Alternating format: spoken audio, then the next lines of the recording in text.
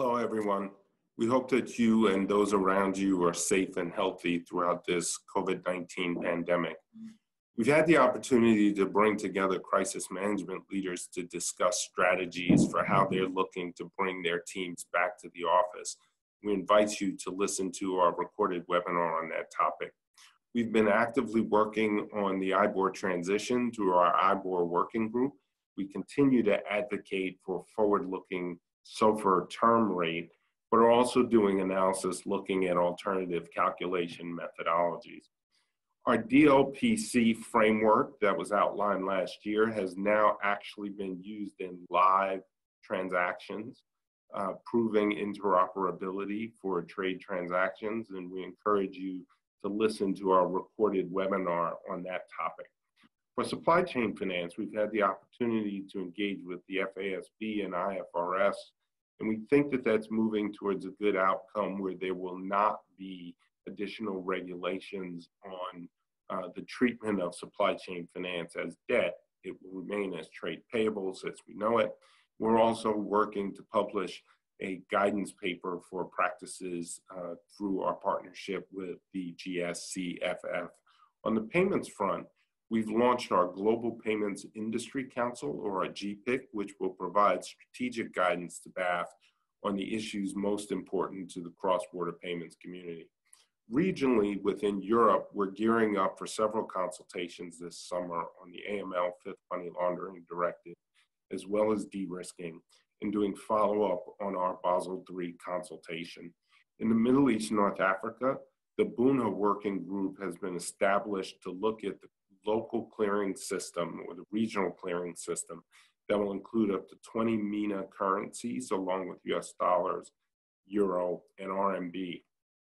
In Asia, we've been engaged through the APFF and also with the MAS on their Project Veritas looking at artificial intelligence, data analytics, and also how to apply digital initiatives to trade-based money laundering.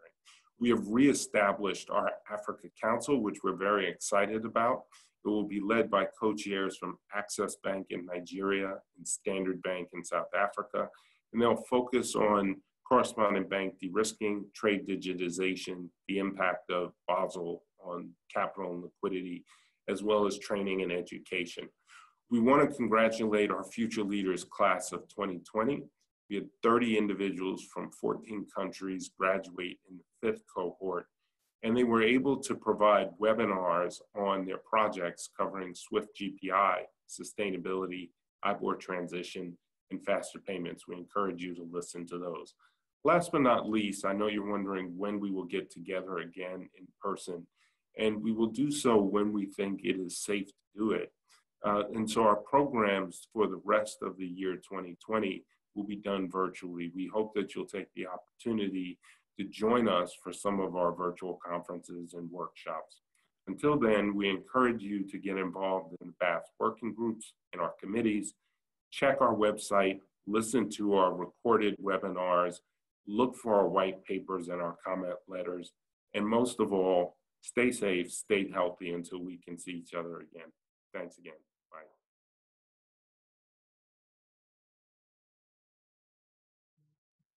BAFT continues to track regulatory and policy developments that have an impact on the transaction banking business. Since the onset of the COVID-19 pandemic, we have seen a number of regulatory and policy changes that have delayed timetables or made modifications to regulatory practices. One such delay has been the Basel Committee's delay in implementation of the 2017 Basel reforms moving the deadline for implementation from the 1st of January 2022 to the 1st of January 2023. This additional year for implementation means that we have additional time to engage in advocacy before the regulatory community. This summer, we will be following up on our response to the European Commission's consultation on Basel implementation, providing the Commission with new data, case studies, and bolstering our argument for the need for the European Commission to practice discretion when implementing the Basel III reforms. We invite you to engage with us as we engage in advocacy in Europe and other jurisdictions before the implementation of the Basel III um, deadline at the beginning of 2023. Another issue that has been close to many of you has been the transition away from IBORs to new alternate reference rates. In January, we launched a global working group that was tasked with three core priorities. The first has been member education. There are a number of webinars and reference material available on our website. We invite you to visit those. Um, second, and perhaps most important, has been our engagement and advocacy with the ARRC, who is tasked with the production of the SOFR, the rate that USD LIBOR will likely transition to. At present, there is no forward-looking term structure within SOFR, and that has been the core of our advocacy before the ARRC. Our working group has been working to develop a white paper which will make the case for the need for a forward-looking term rate for trade finance products, specifically discounted products. Um, but it will also be looking at the feasibility of transitioning to other alternative calculation methodologies for SOFR. Later this month, um, the white paper that we issue will also include responses from a number of member banks to a survey on IBOR transition.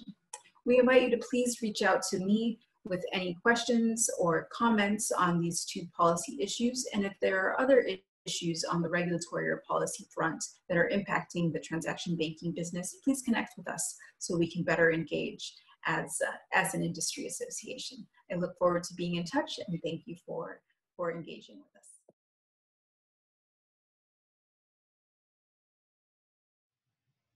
Hello, everyone.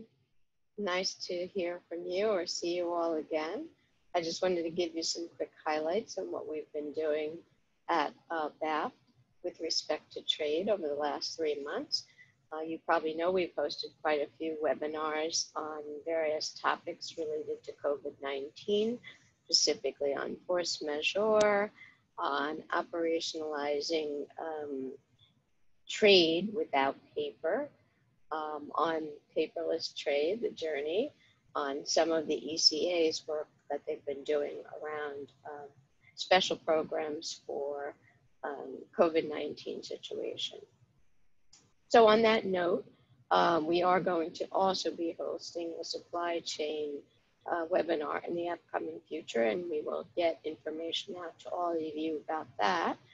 Uh, but we have at BAFT spent a lot of time working on supply chain these last few months, having met with the FASB and the IFRS, and now the IFRS has actually put out a um, tentative agenda decision that they're requesting comments on, and BAFT will be providing comments. Essentially, they have decided to um, not request any additional changes to the standards because they believe that the IFRS current standards are sufficient. Um, and so they're just waiting to hear from public comments. That is um, the first order of business. We are also working with the GSCFF, of which BAFT is a founding member, to finalize the payables finance paper that will be published, as well as a media campaign um, around best practices and good practices and the benefits of uh, the payables finance programs. So be on the lookout for that.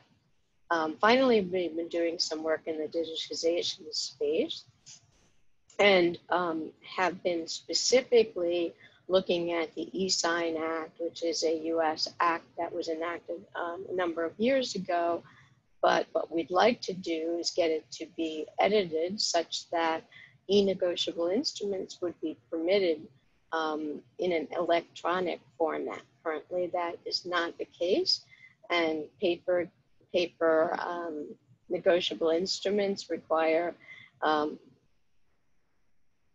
ink uh, ink signed uh, paper, and we're trying to move to a point where that is no longer required given the current um, challenges we've had with moving physical paper around. So that's where we are for um, the beginning of July 2020. Look forward to speaking with you again soon. Thank you.